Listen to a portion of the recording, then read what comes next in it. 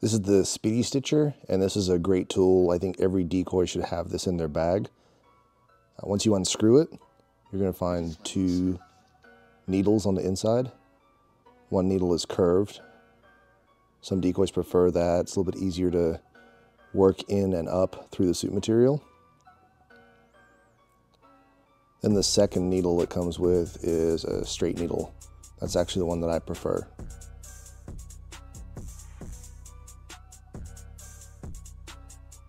On the back side, you're gonna find a stopper.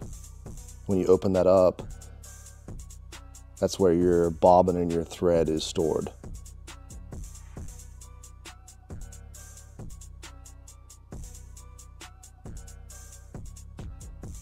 So I'm going to use the straight needle. And when you assemble this, you're going to see a groove in the Speedy Stitcher. You want to align that groove with the groove that is in the shaft of the needle. So just line those up.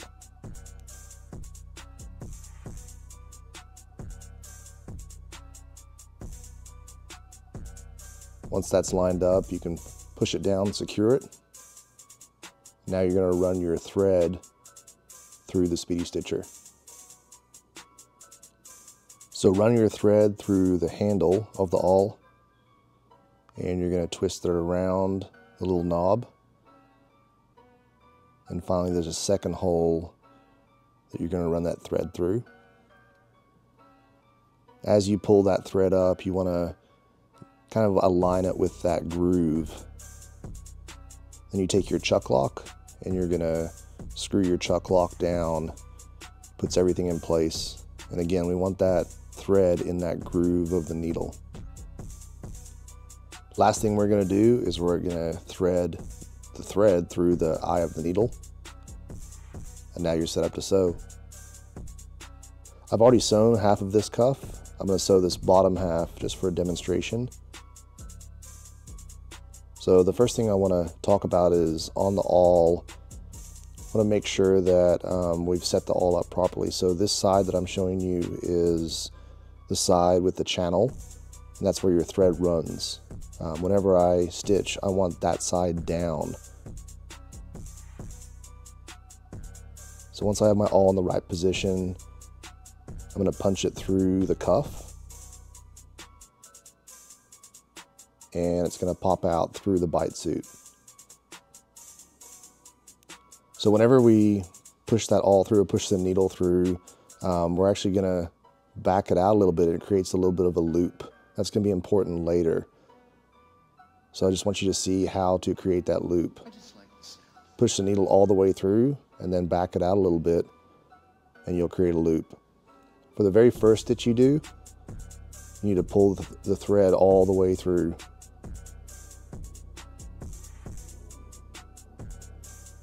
And what we want is we need to make sure we have enough thread to complete the job. So however far you're gonna sew, you wanna make sure you have at least that length in thread.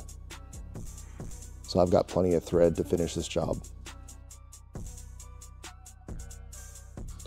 Now we're gonna pull the needle back out the way we came and we've got thread on both sides of the project. So now we want to actually start making some stitches.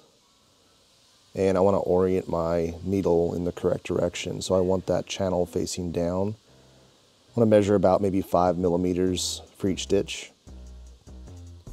And all I'm going to do is punch through the French linen on the cuff. We're going to penetrate the suit and come out the other side.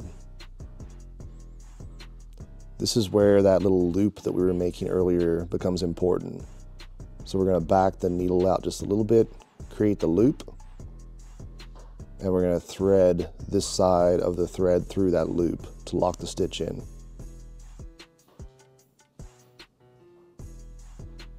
Pull it through the loop. Then we're going to back the needle out and we're going to make sure the stitch is secure by pulling both sides tight.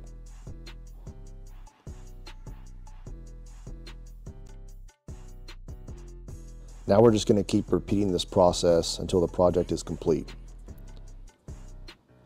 Same thing, we're gonna punch the needle through the cuff, penetrate the suit, come out the other side, create a loop, run your thread through the loop, pull your needle out, make sure the stitch is tight.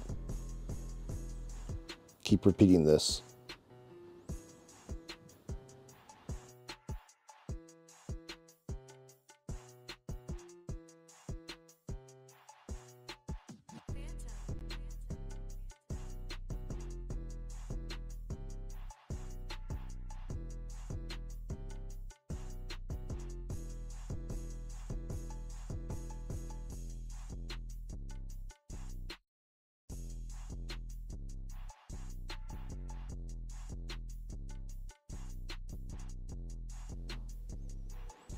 Now that we've made all our stitches, we need to finish the project. We're gonna have one last stitch. So the last stitch is really no different than any other stitch to start. We're gonna punch through the cuff. We're gonna penetrate the suit.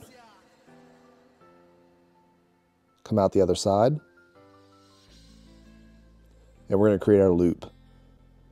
This time we're going to make that loop a lot bigger. I'm going to use a needle to help pull that through. I'm going to pull some thread through and make this loop fairly large.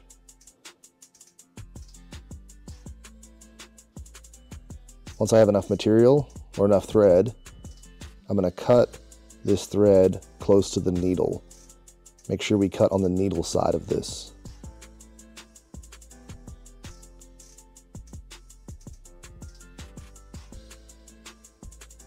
After we've made that cut, we can back out the Speedy Stitcher and we're actually done with that. So what we're left with is two pieces of thread on the same side of the project. So to finish this stitch and lock everything in, all we're going to do is tie a knot. I'm just going to tie a square knot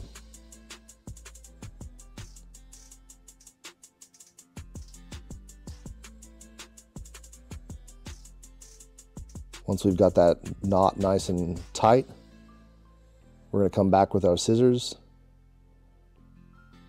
and we're to cut the excess thread. The last thing we're going to do is burn these ends. It doesn't take much. Just get them warm and then I just really basically mash them down into the suit. That kind of welds that in place. Now your cuff's ready to go.